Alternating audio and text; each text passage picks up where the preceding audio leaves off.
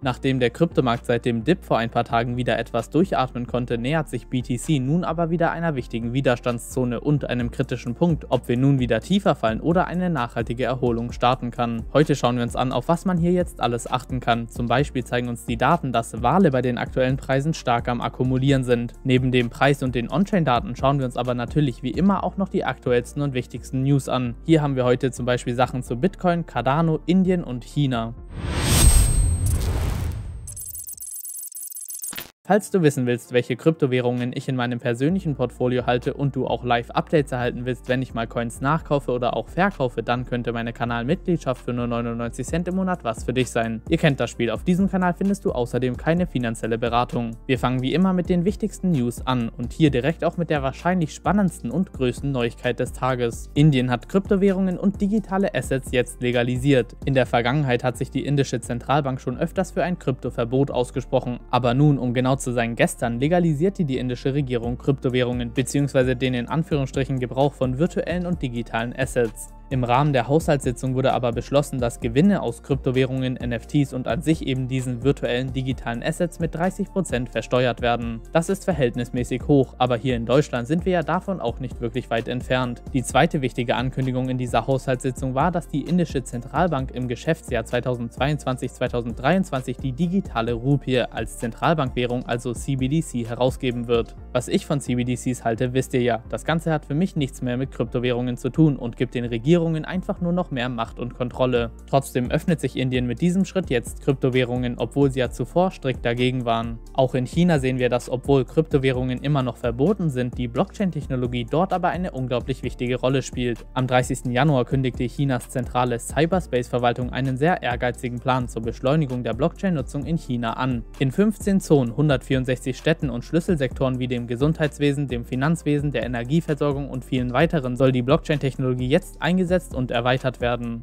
Dann, und das habt ihr wahrscheinlich auch schon im Titel lesen können, die ADAX DEX ist nun auf dem Cardano Mainnet live gegangen. Damit startet hinter zum Beispiel MüsliSwap oder SundaeSwap die nächste dezentrale Börse auf Cardano. Was ADAX aber so besonders macht und wieso vor allem diese DEX mit Spannung erwartet wurde, also erstmal funktioniert ADAX im Kern wie jede andere dezentrale Börse auch. Es gibt ein Orderbook ohne beteiligten Vermittler und Nutzer können festgelegte Handelspaare direkt miteinander tauschen. Was ADAX jetzt laut ADAX selbst von den Konkurrenten abheben soll, ist eine vollständige und bedingungslose Dezentralität, erfahrene und talentierte Entwickler, ein benutzerfreundliches User Experience und starke Partnerschaften. Zum Beispiel integrierte ADAX zusammen mit Koti jetzt den auf Cardano basierenden Stablecoin Digit in das ADAX-Ökosystem. Koti arbeitete bei der Entwicklung von Digit zusammen mit IO Global, früher IOHK, das führende Entwicklungsunternehmen hinter Cardano. Koti und ADAX äußerten sich nun ausführlich zu der Partnerschaft und erklärten, dass der Einsatz des Stablecoins für verschiedene Funktionen vorgesehen ist. Für Koti ist die Zusammenarbeit in Anführungsstrichen ein notwendiger Schritt, um sicherzustellen, dass Digit nach seiner Einführung angemessen genutzt wird. Das Protokoll hinter Digit lässt sich am ehesten mit einer autonomen Bank vergleichen und gilt als das erste Protokoll, dessen Stabilität mathematisch beweisbar ist. Durch Digit wird einerseits die Liquidität erhöht, neue Handelspaare gebildet und zudem können dadurch in Zukunft auch weitere Funktionen angeboten werden.